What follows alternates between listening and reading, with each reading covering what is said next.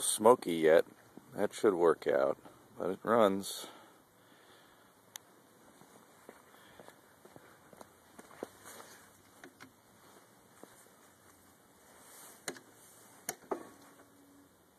Just like that.